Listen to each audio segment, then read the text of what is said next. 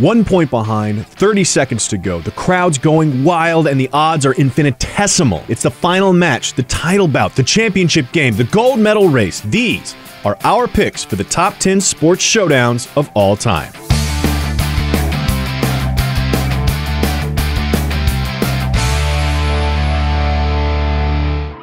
So, a hearty welcome to all our listeners in England.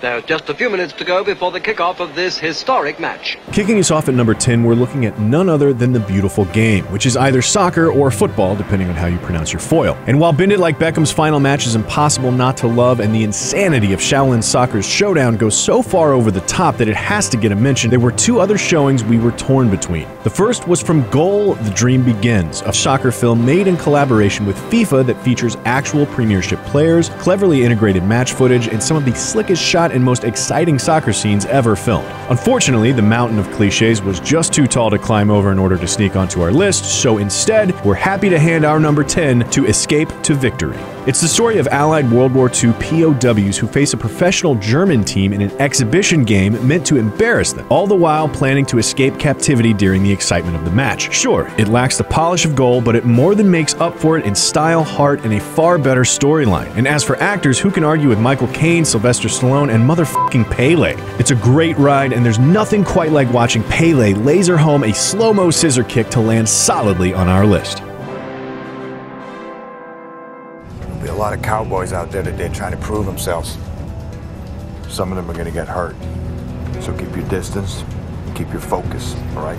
Next up at number nine, we've got to give it to some of the badass films that feature extreme sports. Now, most extreme sports films aren't so much stories as they are show reels for the pros, and if that's what you're into, by all means, check those out. But if it's a cinema experience you're into, and we are, you've got to look elsewhere for your extreme drama. And there are a few really good choices. Lords of Dogtown's got a great tournament that takes a turn for the violent, and Thrashin' has a pretty cool downhill skateboarding race that features stunt work from pretty much every legend ever. And we really like Final paddle out into the 50 year storm, but if we're talking big wave surfing, we've got to give it to the climax of Chasing Mavericks for intensity. Do yourself a favor and skip the first two thirds of this movie, but we don't have a single qualm with the final sequence that sees 14 year old Jay Moriarty paddling out into Mavericks to ride monster waves in a final showdown between boy and nature. The filmmakers don't hold back. The cinematography and stunt work during the sequence are absolutely astonishing and completely make up for the color by numbers storyline. These are real surfers out there putting their lives on the line, riding triple overhead waves. Gerard Butler almost died during the shooting, and that was only in 10 foot surf. It's 10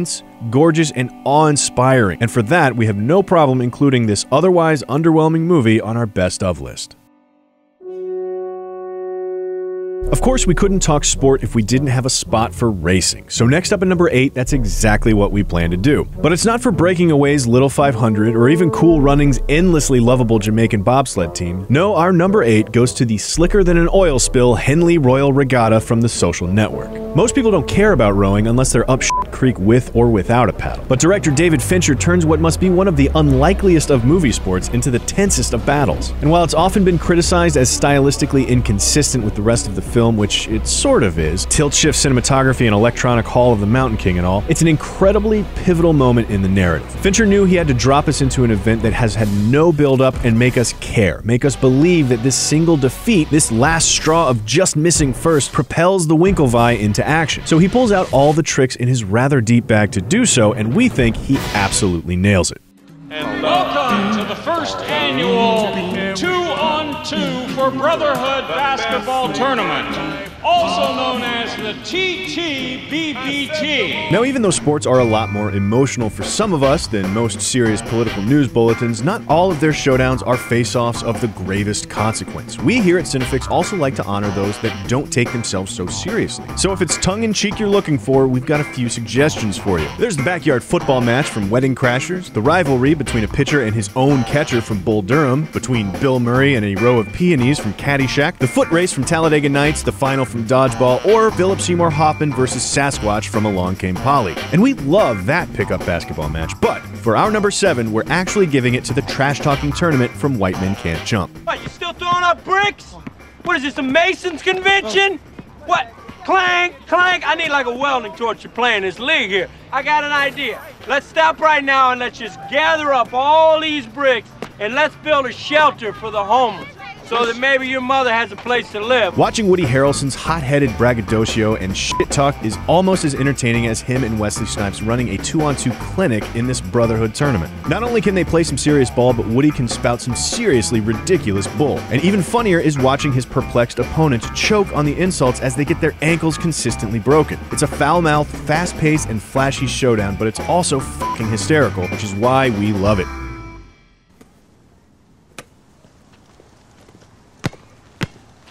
What's up, son? Next up at number six, we're sticking to the basketball court, but this time with our serious faces on. And I know, I know, we all really want this slot to go to the Michael Jordan and Bill Murray versus cartoon alien grudge match from Space Jam, but it turns out that movie's a comedy, not a documentary. Instead, we considered slightly less believable games like the finals from Hoosiers, or Coach Carter, or Above the Rim, or Passing Glory, or Glory Road. But we didn't pick any of those championship winning, crowd screaming, lights flashing grand finales. Our pick for number six is the smaller, quieter, one on one between Denzel Washington and Ray Allen as father and son in Spike Lee's He Got Game. It's about so much more than just the game as years of emotion tumble out on the court. And the best part is that you're not dealing with stunt doubles or actors trying to look like they know what they're doing. You should know that Ray was supposed to win 11 0, but Spike Lee just told them to play for real, and Denzel actually knocked those five down. That anger, that's not the character. That's Ray Allen getting pissed off. It's a scene two hours in the making, but it's great ball, spectacular drama, and a perfect fit for Denzel and Ray.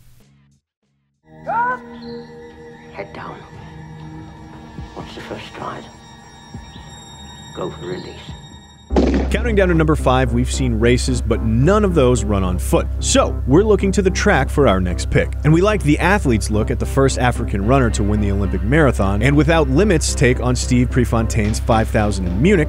But for our slot, it's gotta go to the serene 100 meter final from Chariots of Fire. Don't get us wrong, the solemn and pious 400 meter that follows is good too, but there's nothing quite like the 10 seconds of this 100 meter race stretched over a beautifully taught two minutes to glorify the beauty of running. The slow motion final moments might be a cliche nowadays, but this is certainly its inception. It's gorgeously shot, perfectly scored, and a must have on the list of any sports fan.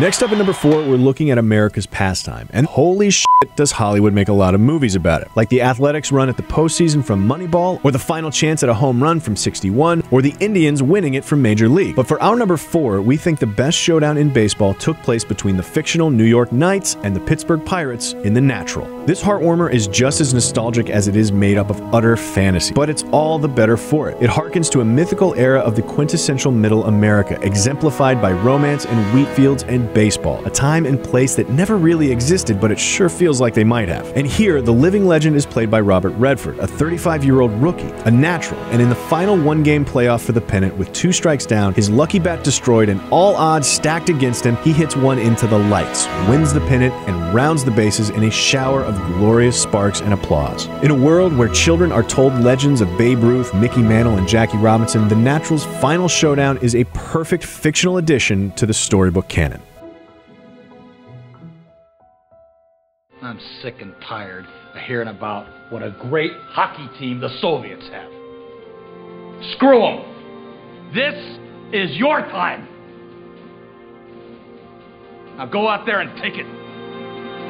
Closing in at number three, we're taking it to the ice with a showdown from hockey. And of course, our minds first go to the unstoppable brilliance of the triple deke from Mighty Ducks, then to the all out brawl in Slapshot, and next to the final match in the recently underrated Goon. But it finally settles on the only hockey showdown we can justify picking, with the 1980 Olympic upset from Miracle. Pitting massive underdog Team USA against heavy favorite USSR in this based on a true story movie, every minute in the film has been building up to the moment when the clock ticks down to zero, and we all believe believe in miracles. The coverage is realistic, almost documentary like, not flashy or obnoxious, and the story benefits from its source material. It just looks like real people playing real hockey. And to top it all off, we're offered the wonderfully nuanced perspective of Kurt Russell's Herb Brooks, which gives us a fantastically complex experience of this historic game.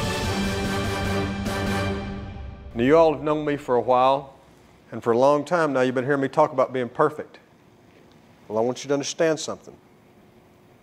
To me, being perfect is not about that scoreboard out there.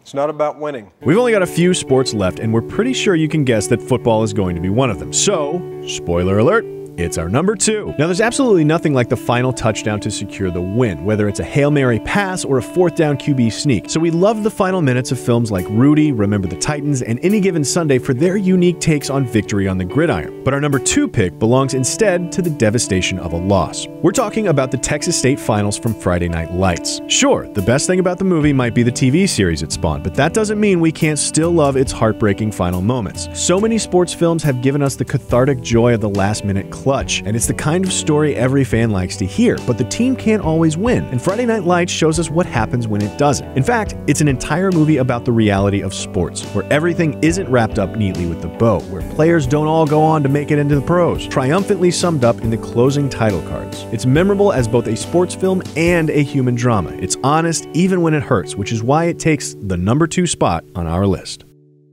And finally, at number one, the only sport that's left is bowling.